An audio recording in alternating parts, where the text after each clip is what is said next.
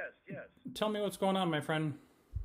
Well, uh, this is the first year for me to towing a vehicle. I have a Jeep Grand Cherokee, and a friend of mine, we locked. I didn't want to leave the vehicle unlocked when you're towing it. You have to put it in neutral, you know, that kind of thing. And so we locked the car and we shut the hood down all the way. But this was my first uh, endeavor with this Jeep Boeing, and we screwed up. Okay, so let's back up a little bit. What size engine does it have? It's a V8, uh, 5.3 liter, or it's a it's a, a five liter something. I can't, Okay. Five. All right, so right now you said you closed the hood, and your question to me is how to open the hood without getting in the vehicle. Did I understand that correctly? Or, or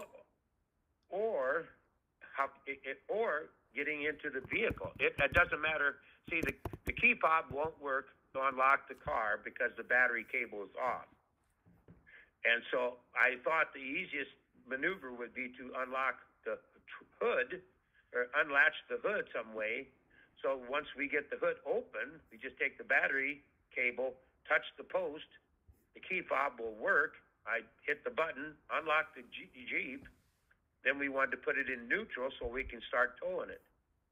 So I think the easiest we well, you tell me if it's easiest, but we need the hood opened to put the battery or the cable on top of the battery to get the key fob to work.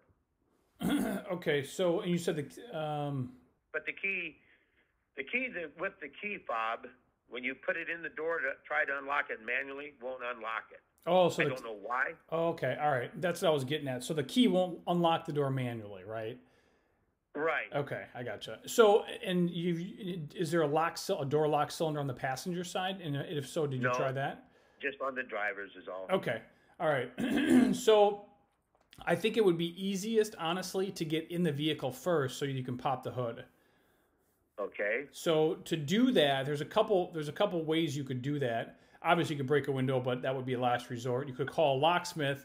That would kind of be down the list. The only other thing I would recommend, you know, I've used a lot. It's called a, it's called a vehicle lockout kit, and I would recommend that you try that. Right. So they make these kits. You can get them on Amazon. You can get them online. You know, different different websites. So one of the easiest ways, obviously, there's like a door, uh, like a like a Slim Jim or something like that, where you could, you know, you you put it on in on the outside of the window, and you put it down, and go in, it goes in the door, and then you pull it back up, and then the one part comes, it, it ends up inside the vehicle, and then you can either you know manually unlock the door, or or or just you know get the door open that way, you you know from the mechanism. Now the other way with this lockout kit, they they come with like a, and I think this way is going to be best. There's like a what looks like a door wedge, you know, like a door stopper, you know, like it's a triangle. Yes. Yes. Yes. and what you yep, do yep, is you yep. just you take it way on the top and you put it way on the on the you know the the Yep, very top yep. part of the door, and you And you're slow prying the door apart from the Jeep, so Yep. you're getting room to get the. Yep. and then you and you get like either a long hanger or a long piece of something where if the battery's disconnected, we can't use the power locks, but we can if we hook the the door handle manually and somehow pull it, we can get in that way. And I think that's going to be your best bet.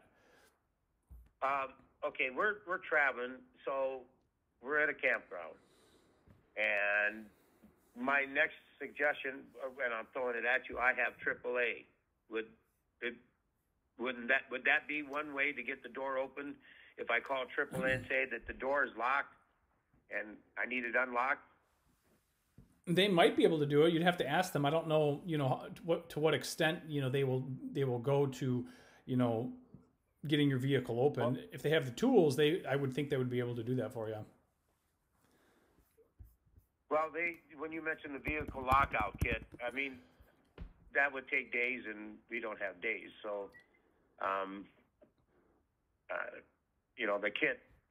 And I understand what you're saying by prying the top of the door. That gives it some, and I, I and then gives you maneuverability to be able to get a hanger down and and try to unlock it. Now, uh, I wonder if there's such a. I'm trying to think of what would work like a wedge to do that without having to wait for a kit. Do you have a couple I- screwdrivers? Do I have? Do I have what? Just a couple screwdrivers. I think I do. So you could try to very, very, very carefully wedge your, you know, yourself in, you know, the top part of the door, uh, away from, you know, where it opens, you know, the very corner, and then get like either a long hanger or a, a long, you know, rod or something, and maybe even make something like a makeshift handle on it where you know it's it's Well, how about a fly swatter?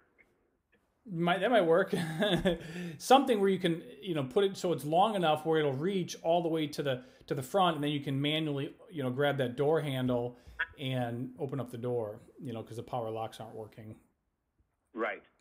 Okay, so we have the pry pry the door open at the top, try the slide, and I can get a coat hanger. I've got metal coat hangers. I can dis dis you know disassemble and make a little hook on it. If the if the fly swatter is too thick and too bulky and not able to maneuver so well, I can get a fly or get a hanger mm-hmm. and you know straighten it out.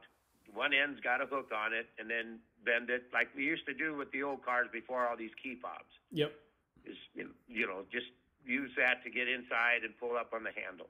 you got it yep Okay. And I guess the last scenario would be calling AAA to see if they could.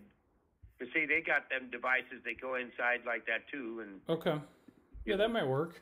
And also, and again, I'm just throwing this at you just to try to help you, give you some other options. Last I checked, usually, again, I could be wrong, but last I checked, police officers will also have a lockout kit in, in their vehicle. okay. Well, maybe that's another. Uh, that'll be another option. Yep. The coat hanger's probably going to be too thick, and we'll give that a shot.